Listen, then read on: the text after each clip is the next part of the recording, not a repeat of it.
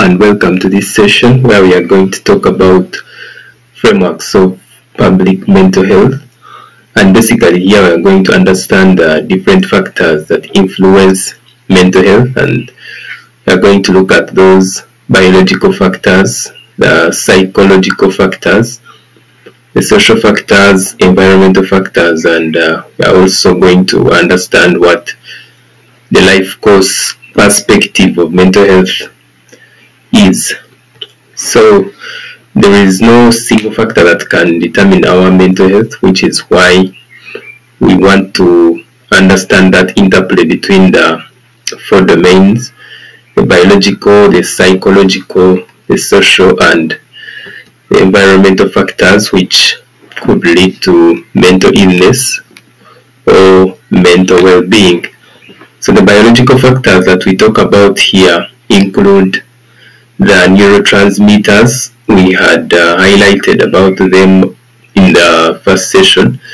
The brain structure, the genetics, and, and everything that influences emotions, moods, and vulnerability to mental illnesses. So the different neurotransmitters uh, that we have, which could be of significance in terms of mental health, include serotonin, uh, which is in, in charge of uh, happiness, our mood, and sleep.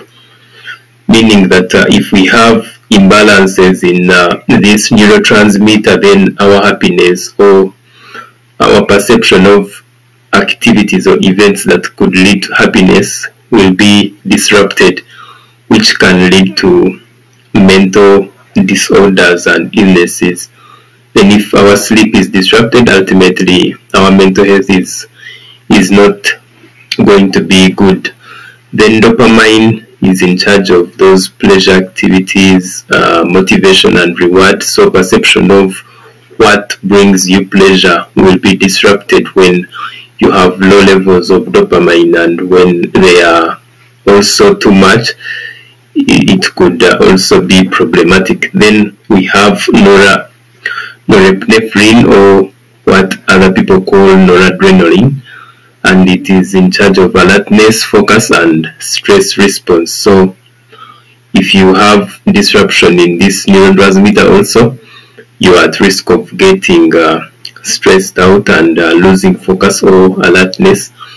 Then the other is the gamma aminobutyric acid, which uh, it has an inhibitory effect in uh, in terms of of of, uh, of nerve impulse transmission. So it uh, it impedes the receive the receiving of of uh, of these impulses or even firing them from one nerve cell to another. And by doing that, it uh, brings into play what we are calling calmness and relaxation. So in some situations you need to be calm you need to be relaxed okay? So if that cannot be if uh, gamma aminobutyric acid or what we are calling GABA is disrupted then you might uh, have problems with being calm or relaxed and yet it is very essential in our mental health. So disruptions in uh, these neurotransmitter uh, levels or the brain chemistry or the imbalances can contribute to mental health challenges. Also, apart from the neurotransmitters, we have those brain regions which are responsible for emotions and uh, behavior. So, ultimately, damage to the above regions like the limbic system, the prefrontal cortex, and the thalamus will have an adverse mental health outcome, and this damage can be due to some of those drugs which are abused like cocaine like uh, meth you know heroin and uh, marijuana. So those drugs tend to damage these uh, regions and uh, and they could also end up causing adverse mental health outcomes. Then illnesses sometimes and uh, trauma could be head injury that can uh, bring damage to these regions that are responsible for emotions and behavior and will ultimately affect your mental health. Then the psychological factors that are in charge of uh, our mental health outcomes include the thoughts, which are mental representations of experiences, beliefs, expectations, and goals. So, how do you think? Do you have uh, a positive thought process or you have a negative one? You know, when, whenever you're faced with a challenge, uh, do you face it positively or you, you tend to dwell on the negative? And if you tend to dwell on the negative, if you are not hopeful, if you're not going to be uh, a, prob- a problem solver to get out of your challenges, then you can end up with uh, those adverse mental health outcomes. Then the emotions, which are subjective feelings arising from those thoughts, the mood and interactions. You know, uh, are you are you happy? Are you sad? You know, and uh, how does it? How does that, this go on? Does being sad take a long time? Does it take a toll on, on, on your thoughts and mood? And if it does, how do you cope with it? Okay, which brings us to the coping mechanisms as a psychological factor. What coping mechanisms or what strategies do you have to manage stress? Okay, you as an individual before you even uh, think of enabling others to manage stress. Which strategies do you have? Can you take a break from a distressing event or situation? Are you able to exercise to deal with this stress? You know, are you able to talk to someone else that you trust and, and maybe this will lessen your uh, your distressing situation or not. So the coping mechanisms, which are those strategies that uh, enable us to manage stress, adverse and negative emotions, are also some of the psychological factors that determine mental health.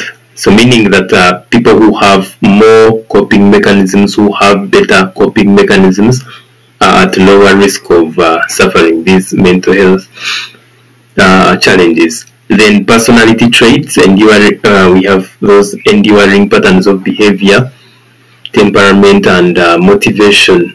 Uh, what is your your personality? Are you this person who has a borderline uh, personality who is always at risk of getting of falling into mental illness or not? Are you the person who depends on others to feel happy or not? So, what kind of personality are you having, which could uh, uh, make a difference of whether you're going to have mental health challenges or not?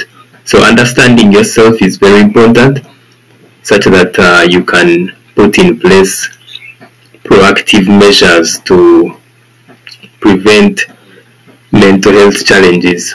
Then the social factors that we are interested in here uh, include basically the emotional support, um, emotional support that you can get from the people that are around you that will help to reduce stress and enhance coping skills, okay? So promoting that sense of belonging, identity, self-esteem and confidence can be a very good strategy for you to get the best out of the social system around you to manage mental health challenges. So forming strong social bonds through regular contact with the people around you, joining groups that are that that, that are supportive, you know, volunteering and seeking professional help is very important in terms of uh, of, of building a social structure that will buffer you when you face mental health challenges.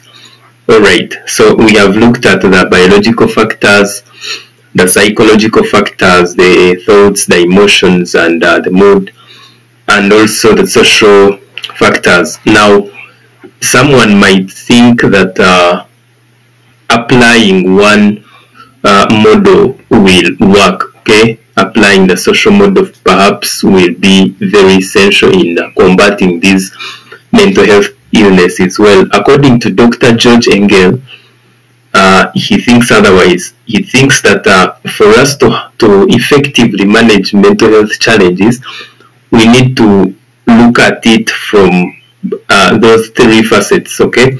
Hence what he called the biopsychosocial model.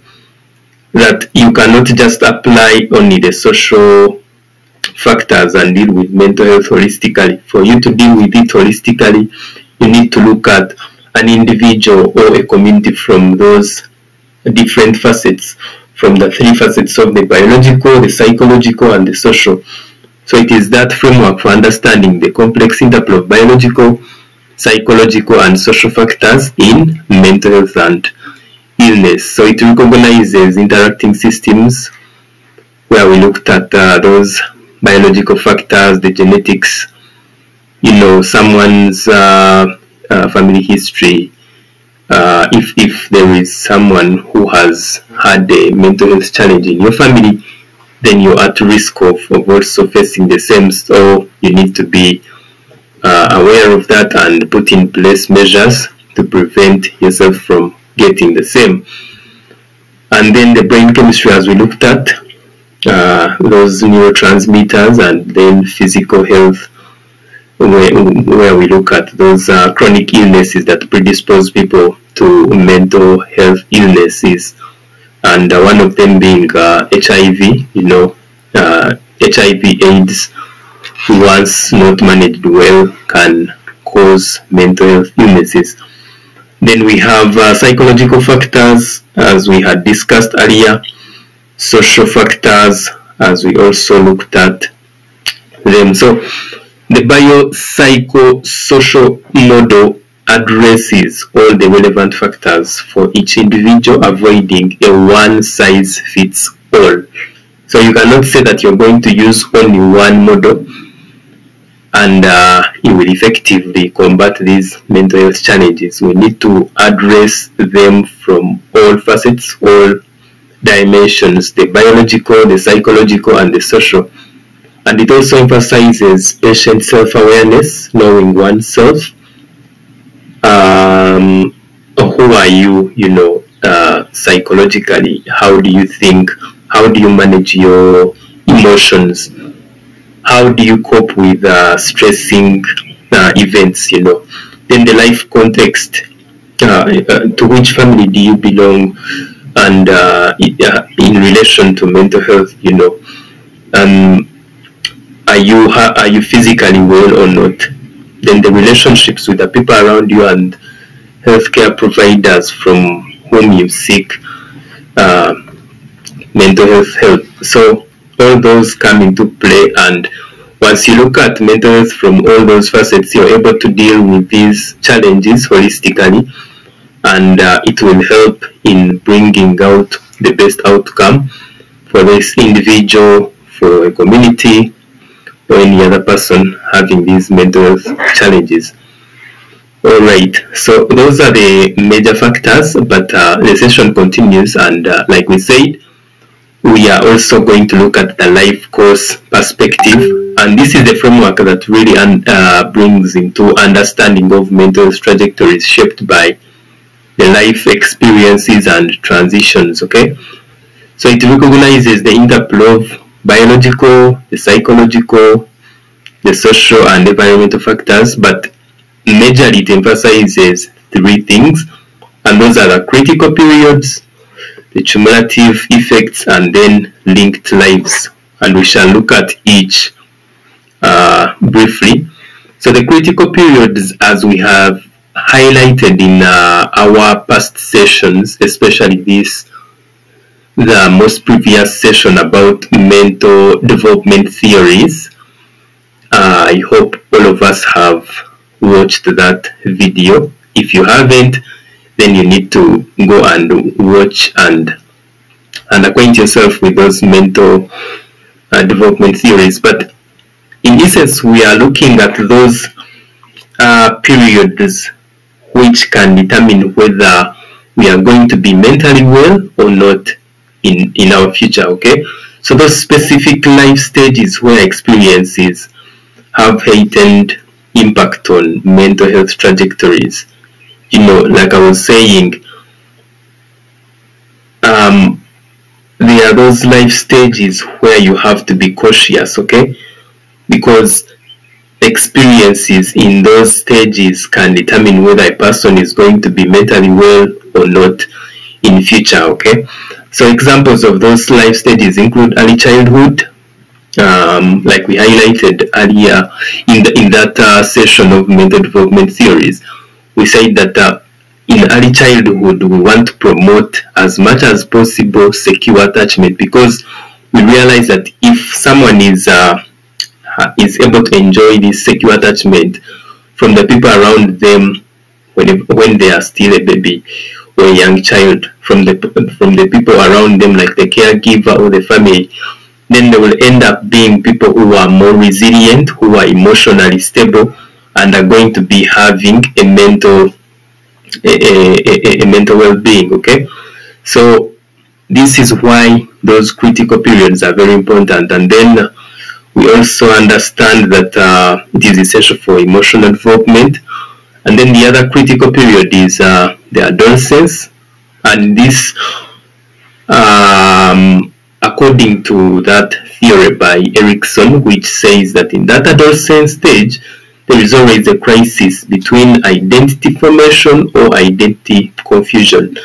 This is the stage, according to uh, Erikson, when you go back to those uh, mental developmental theories where he was saying that in this stage of adolescence you're trying to ident- to really uh, get to know who you truly are you know what you want to be your goal in future you know what do you envision being so in that case you need to be supported by the people around you by the teachers by the mentors around you so that you can really identify what, what you need to be. Because if you don't, then you will end up in that identity confusion. And remember, even at that stage, there is there is also uh, things like risk-taking behaviors coming into play.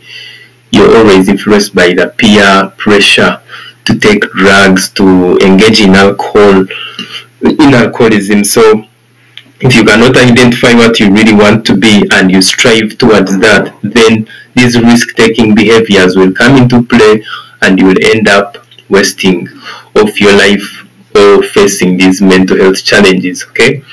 So it is very essential to take note of those critical periods as suggested by this life course perspective. Then the other essential part that is uh, highlighted by this life course perspective is the cumulative effects.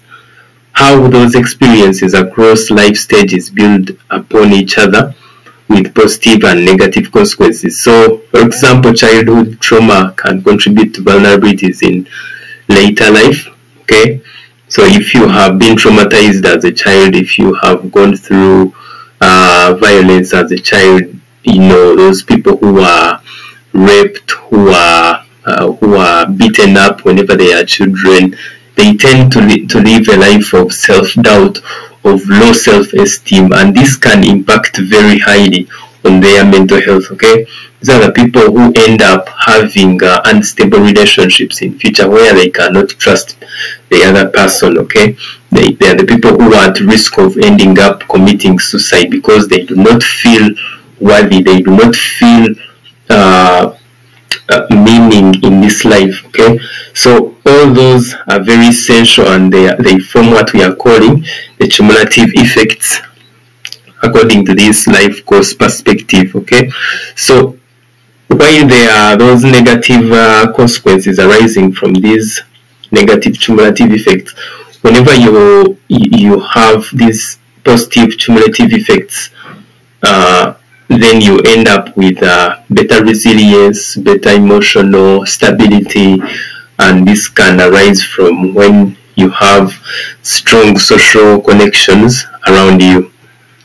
Then the third aspect of this life course perspective is what we call linked lives, and basically this is talking about the interconnectedness between individuals and their communities. Okay, so for us to say that we are mentally well then our community from where we are coming should also be well okay so if you are coming from a community or a family which is uh, at war which is uh, in conflict then the possibility of you being mentally well is very low so that interconnectedness of individuals and communities according to this life course perspective is what we are call, calling uh, the linked lives. So basically we are trying to say that as public health professionals, as public mental health practitioners, we should focus on making sure that the community, the family from which the person is coming is well so that we can be sure that this individual is also going to be well in terms of mental health. Alright, so the implication of this life course perspective, which has talked about uh, the cumulative effects, which can be positive or negative, which has talked about the critical periods, um, uh, where we looked at those uh, periods like the adolescence and uh, childhood, where you need attachment, where you need to identify yourself, and also it has brought about that linked lives between the community and the individual the implication of this life course perspective in our public health is that uh, we should consider these interweaving threads, okay? Early intervention during critical periods, knowing how to take care of the baby, knowing how to take care of this young child, and uh, addressing those cumulative uh, effects across the lifespan. Those uh, um, risk factors that could lead to trauma, to, to, to those negative cumulative effects, and promoting supportive environments will help us to nurture linked lives, and this will be crucial for promoting population-wide mental well-being. Okay, so let us look at uh, some of these uh, periods and uh, maybe what can be done. So a critical period like childhood, we need uh, to have secure attachment and this can be formed during that period between birth and three years and uh, during that period the exposures that can be there are that supportive and responsive parenting which helps us to form that secure attachment but also on the negative side is that if you are not having that secure attachment, if you are not exposed to that secure attachment through supportive and responsive parenting, then you could be exposed to violence or neglect. So in that case, you will be having insecure attachment. Okay, so that insecure attachment will have an effect or an adverse effect on your mental health in future. These are the individuals who will end up uh, having unstable relationships, emotional instability, because they did not enjoy this secure attachment. So the public inter health intervention in this case can be early childhood development programs which emphasize the importance of this secure uh, attachment formation, parent education to also make sure that they develop the love for their children because this love will enable the children to become better human beings in future and also shield them from mental health challenges in the future. Then trauma-informed care to to basically uh, prevent these traumatizing events that could affect the mental health of these children whenever they are growing up. And uh, so if we put in place such interventions and even more, we are going to ensure that children undergo secure attachment formation during that critical period and this will enable them to have a better mental health outcome in future. Then uh, the other period of it could be adolescence which involves identity formation and emotional regulation and exposures in this case like we had highlighted earlier on include peer pressure include academic stress and uh, substance abuse. So you could fall into this if you haven't identified who you really want to be, according to the other theory by Erikson. Okay, so that peer pressure, the, the friends around you, if they are not good enough, if they are not the ones that will support you to achieving your goals, then you could uh, end up having uh, uh, problems with uh, substance use, alcoholism, smoking, and all the others. But uh, but as public health professionals, we need to ensure that there there is school-based mental health services, so that even when these uh, adolescents are away from home, they can be counseled, they can be taught on how to deal with these uh, pressures from the peers, from the from from from the society, so that they can really identify who they really want to be, and they can go through this period productively, so that they can have a better mental outcome. Then we can have youth empowerment programs uh, to focus on improving their their emotional management, but also creating opportunities for them so that they do not fall into substance abuse. Okay, then access to culturally competent care that will take into consideration the different cultures and what that means in terms of mental health outcomes. So these are very important public health interventions in terms of uh, dealing with mental illnesses that could arise due to mismanagement of that critical period uh, that happens around adolescence. All right. So we also said that uh, the life course uh, perspective talks about those cumulative effects, and in this case, we have the positive cumulative effects and the negative cumulative effects. Those factors that build on onto each other to cause or influence our mental health okay so the positive ones include access to education and quality jobs. So if you have access to education you're more likely to have a good job. If you have a good job you're more likely to take care of yourself and end up with a better mental uh, health. Then uh, we have strong social support networks very essential in terms of creating that buffer for mental health. Okay, people that you can talk to that can support you when you are having uh, uh, an issue that is bothering you instead of falling into mental illnesses.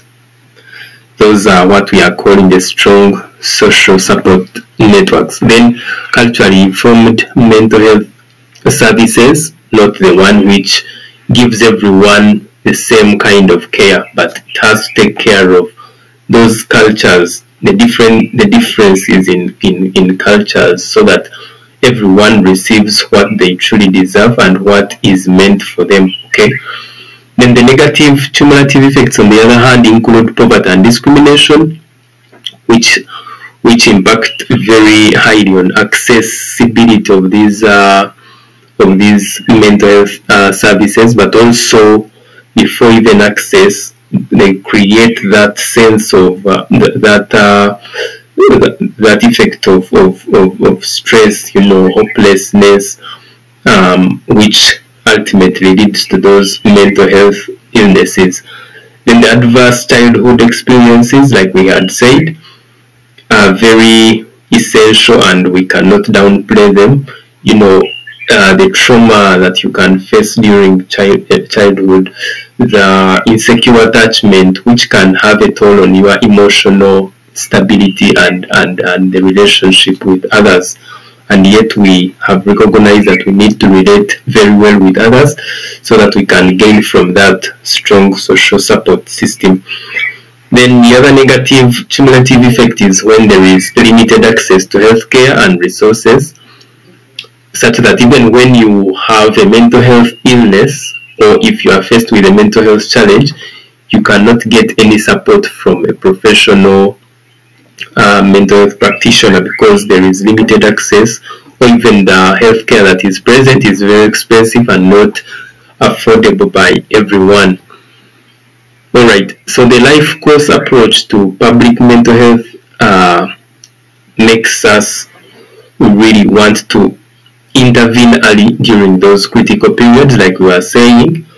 Educate these parents okay? Let them acknowledge the importance of of of, uh, of these attachment uh, so that we can have better mental outcomes for these children whenever they when they are grown. And then uh, during uh, during adolescence are there those programs that empower youth are there school mental health uh, programs that that that protect these youth from falling into uh, issues of drug abuse you know falling into traps by peer pressure so all those are interventions in critical periods and then addressing the cumulative effects throughout life. How are you addressing discrimination for these uh, mental services? You know, how are you addressing stigma? How are we going to address uh, poverty so that we can have everyone accessing these mental health, uh, mental health services, but also shielding them from suffering from their mental health uh, illnesses, you know. So addressing these cumulative effects uh, through uh, sustainable livelihood programs, through creating uh, jobs that can make these people get an earning that is uh, good enough to help them get out of this poverty, educating them so that they can be better positioned to get jobs will be very essential in addressing such cumulative effects. Then promoting supportive environments and linked lives is also very important. And then prioritizing equity and social justice in mental health care, such that everyone, regardless of who they are, where they come from, can access quality mental health care whenever they are in need of that care. Alright, another essential thing that we are looking at in this session is uh, the early life experiences, which is basically trying to look at or build on that critical period aspect. And uh, we are saying that these experiences have lasting effects on the brain development, stress regulation, and attachment patterns. Okay, the way your brain develops is uh, dependent on how uh, your early life experiences were. Did you feed well? Were you cared for very well? Was there a secure attachment whenever when you were growing up? And and also it goes into stress re regulation. How are you able to regulate stress? Do you have better do you have better coping mechanisms whenever you're faced with distressing situations? Okay uh, attachment patterns such that uh, which influence whether you are going to have a good social support system or not. Then uh, we also recognize that uh, adverse childhood experiences or what we are calling the ACEs increase the risk of mental disorders. So protective factors such as supportive uh, relationships, positive coping skills, and resilience will buffer the impact of these adverse childhood experiences okay so if you have better protective uh, factors like supportive relationships if you have positive coping skills like the ones that we talked about uh, if you can talk to another person that you trust about these mental health challenges if you can exercise if you can eat well whenever you're facing these mental health challenges if you can withdraw from this distressing situation and you take time to to be to, to to really take care of yourself and not be so hard on yourself if you are hopeful during those uh, adverse situations and you have positive coping skills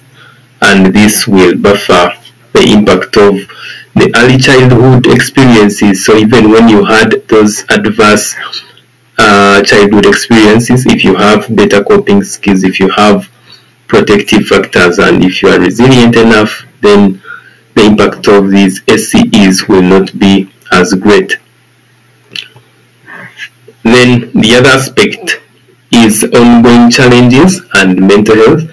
And when we talk about ongoing challenges, we are we are looking at uh, aspects like poverty, discrimination, violence, and chronic illnesses, which really affect mental health across the life course. So these challenges uh, create stress, they reduce the resources available, they limit opportunities for personal growth and also social participation. Okay, if you are discriminated against, if you are poor, then even your social capital tends to reduce. The people that you can really talk to and they can and and be of help might not be as many as when you have the resources when you have when you are not poor you know. So coping strategies such as problem solving emotion regulation and social support will help individuals manage those challenges and maintain mental health.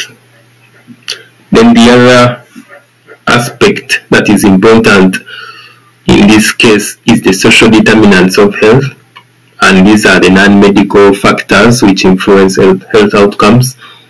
We look at the factors during birth, factors during growth, your work, your living during aging and systemic conditions.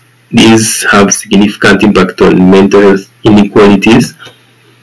And uh, we recognize that mental health is influenced by those social, social, economic, and physical environments at different stages. Factors like poverty, uh, we are going to keep on talking about this because you see, poverty does not only uh, stop you from accessing quality uh, mental health services, but also can lead you to mental health illnesses. Okay, the fact that you are poor means that you're more likely to face uh, those challenging situations. So these challenging situations can lead you into depression, okay? Depression, anxiety, and all the other mental disorders and mental illnesses that come after that. So poverty, discrimination, lack of resources contribute greatly to mental health disparities. Um, harsh parenting, bullying, you know, at school or even in society, economic down, downturns and disease outbreaks, all these factors are, are embedded in the social determinants of health or what we are calling the SDOH and they have great impact on our mental health. So as public health professionals, we need to see how do we turn around these factors, okay? How do we create um, a situation where poverty is reduced, where discrimination is no longer present, where people have resources in terms of capital, in terms of uh, of, of, of human of, of, of human capital, of uh, the natural capital, those resources that we need to survive. So how do we increase these resources so that so that these people can be shielded from these mental health challenges. So we talked about earlier things like sustainable livelihood programs, okay? These ones that empower people to have, to produce more, to engage in activities that can get them out of poverty, you know. So those sustainable uh, livelihood programs, um, awareness creation to, to prevent discrimination, of, of, of people who are mentally ill or who are having uh, those mental health challenges can also be very essential in in in uh, in preventing or managing these challenges.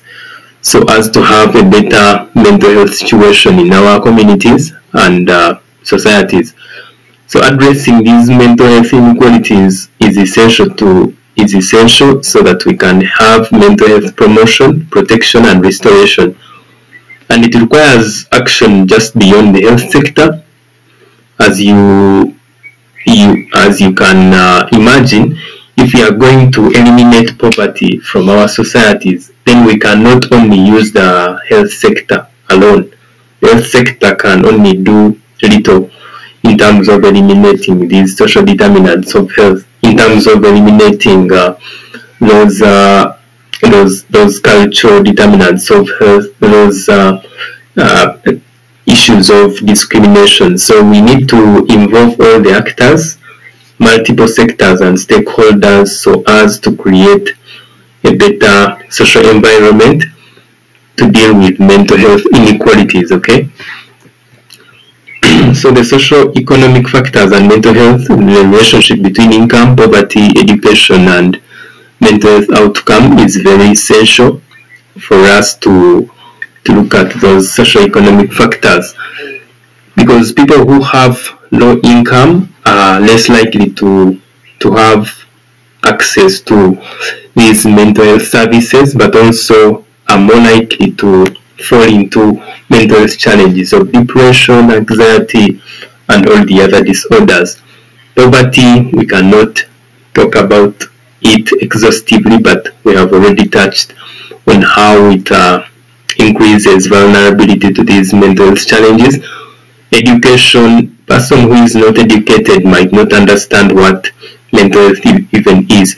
So these are the people that will not even seek for these mental uh, health services. And when uh, when they don't, they will have those adverse effects of these mental health illnesses and disorders.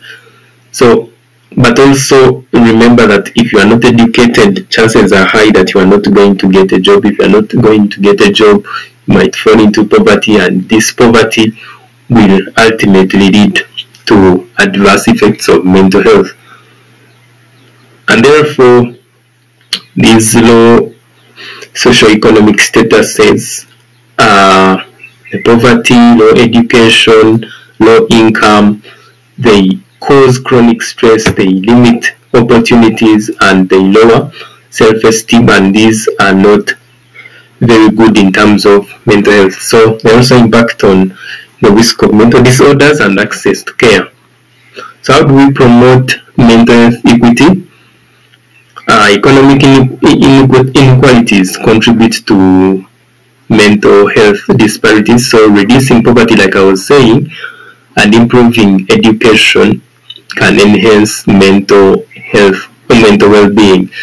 So creating those uh, livelihood programs in which everyone can produce and sell and get some income for themselves, you know, putting in place uh, an education that is universal, that enables everyone to access quality education can be very good in terms of managing these mental health challenges. Okay, so addressing the social determinants of health is essential for achieving mental health equity, as we had highlighted earlier on. Then we have issues of race, ethnicity, and culture also among the social determinants of health. And uh, these are complex ways. There are complex ways in which race, ethnicity, and and culture can affect mental health and we recognize that uh, marginalized communities face system, systemic racism, culture stigma, and discrimination. You know, um, you can imagine the situation, for example, in the United States, where there is uh, still some elements of racism, but also in other countries where the black people are, uh, always victimized in terms of racism. Okay, so this goes a long way even in terms of their access to these mental health services, and you find that they are going to be discriminated against. Sometimes they are not going to receive the care that they deserve. You know, some hospitals are not going to attend to them. But even in the societies themselves, they are discriminated against okay there are some opportunities that they are not going to get some job opportunities some education opportunities then there is also that cultural stigma stigmatizing them creating a very harsh social environment for them might lead them to uh, end up getting mentally ill but also when they are ill they are not going to get the services that can lead them to to, to, to being mentally well. Okay, so it is very important as public health professionals to look into how to put in place culturally competent mental care that takes into consideration of all these groups of cultures that are present in our society so that everyone gets what they need and what fits well in their context. Then gender and mental health is also very important because mental health challenges and vulnerabilities vary across genders, women, men, and those non-binary or transgender individuals face different mental health challenges, okay? Women are always uh, disproportionately affected by uh, gender-based violence, they're beaten up and not expected to report because that is their culture. You know, there are even some cultures where they promote this battering of women and they are never expected to report to this. Then when you look at men, uh, the society de demands a lot from them, okay? It demands a lot in terms of provision for the for the for the family, being the sole breadwinner of the family, but also always being masculine in the face of these challenges. You are not expected to break down even when you're faced by these challenges. And this is very, very essential in terms of looking at the mental health of men. Men are not expected to go to the hospital because they are feeling uh, stressed, they are feeling depressed, you know, in many cultures they are supposed to be masculine and and and be strong, never to to break down. So these uh, these these stereotypes, these uh, these expectations, the the the very uh, primitive expectations from society sometimes will predispose these uh, gender to mental health challenges. Then when you look at uh, these transgender individuals, the non-binary individuals, they tend to be discriminated against in most societies and this can lead to mental health challenges also. So the influence of uh, gender roles, expectations and societal pressures is, uh, is, is very essential in understanding gender and mental health.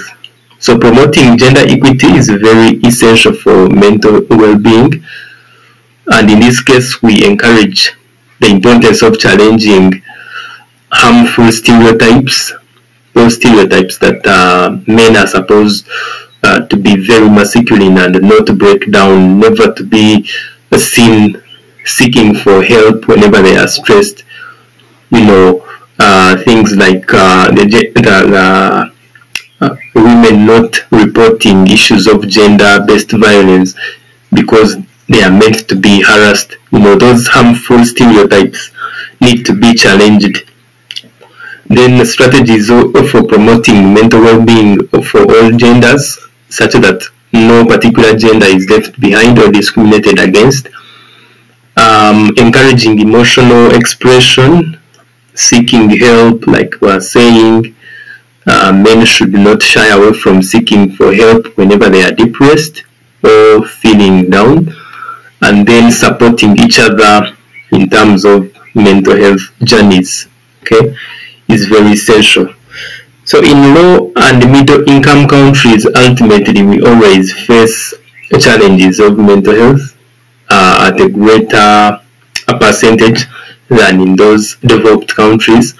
This is because we have poverty we have conflict we have uh, cultural stigma we have limited resources which are still prevalent in our countries and this ultimately contributes to mental health disparities. So economic challenges limit investment in mental health challenges, in mental health services, and this increases exposure to stressors. Okay. And there is also that vicious cycle of poor mental health and poverty. Poverty leading to mental health uh, challenges and then the fact that you cannot afford quality care you will fall into those adverse effects of these mental illnesses which will even make you more poor. You know so that vicious cycle which is characterized by people being poor because they are not producing anything you know they are not producing because they have no capital because they are not producing they are poor uh, because they are poor, they cannot, they, they fall into depression. Because they, they are depressed, they will end up with those mental health illnesses. And when they are mentally ill, they cannot even do more production, they are not productive at all. So that vicious cycle of, of poor mental health and poverty uh, creates, uh, it affects individuals, families, and communities, especially in the low and middle income countries like the ones that we live in. So there is an urgent need for global collaboration to address these mental health inequalities so that everyone everywhere can achieve or can attain and access quality mental health services whenever they need them. So actions including increasing funding, integrating mental health into primary care like we highlighted in, the, in that first session, such that even at the lowest health center in the country we are having some aspect of mental health, okay?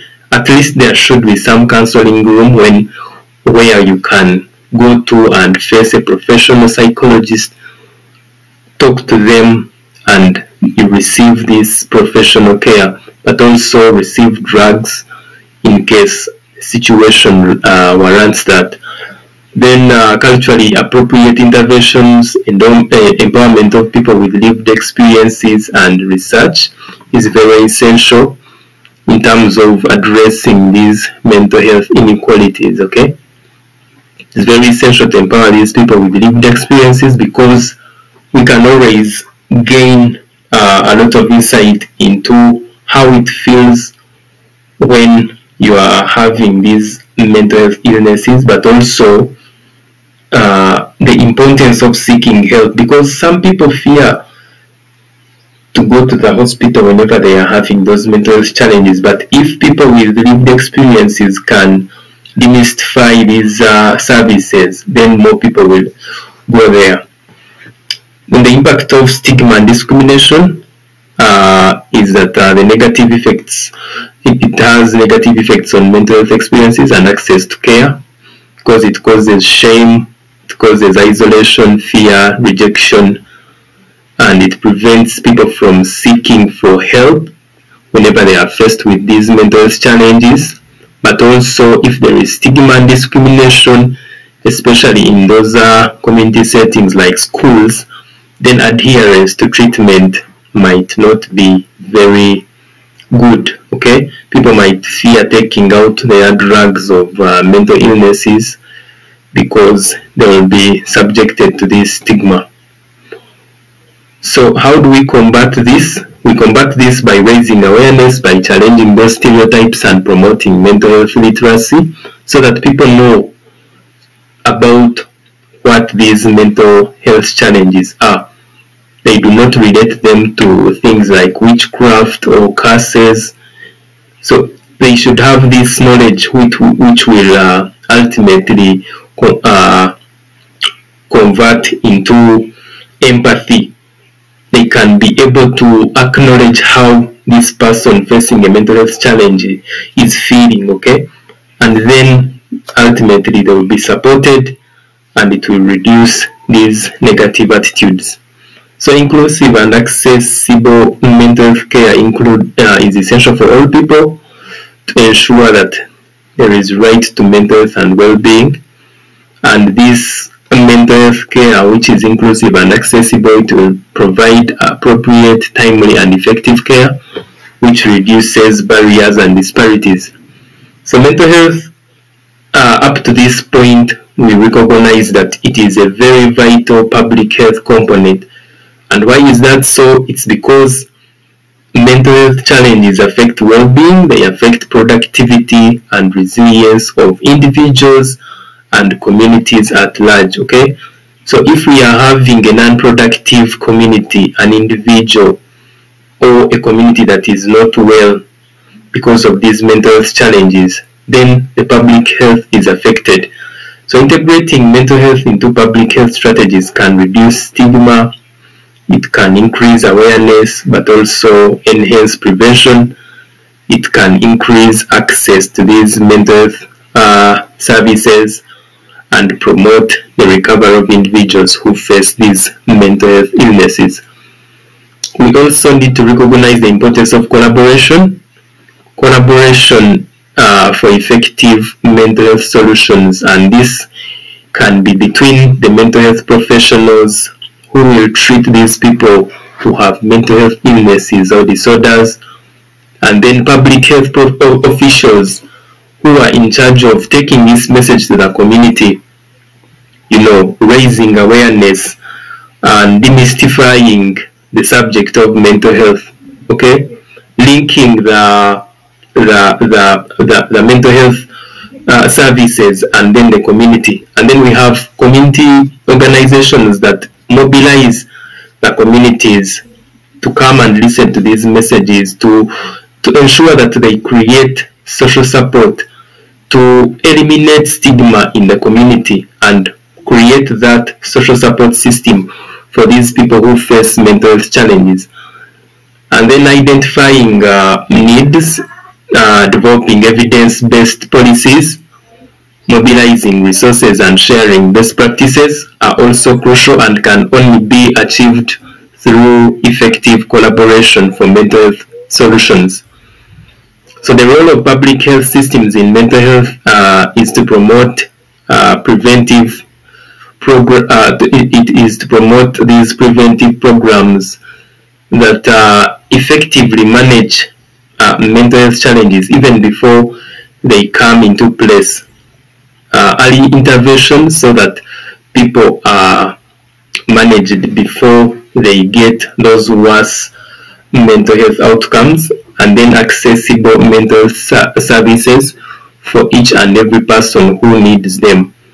So strengthening uh, protective factors, reducing vulnerability stressors, providing timely care and improving quality of life is a very essential role for public health systems in mental health. So in conclusion, we realize that uh, we have a lot of factors that influence mental health, okay? So we need to acknowledge these factors and uh, look at putting in place strategies that that, that uh, really tackle these factors holistically without just facing only one. Okay, need to look at the biological, the sociological, the social factors, the psychological factors, the environmental factors.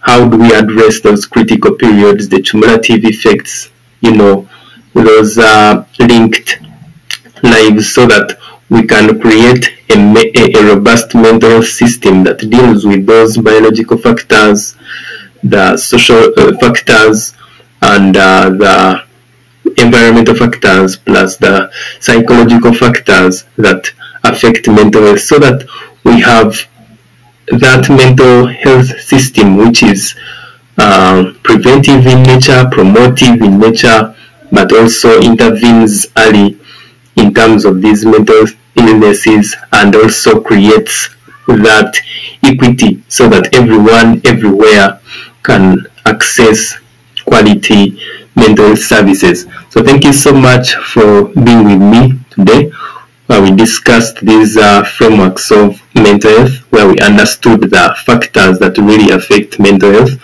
and in the subsequent sessions we are now going to look at those mental health disorders themselves the mental health illnesses and understand how they can appear and how we can deal with them. So thank you again and I wish you the best of the day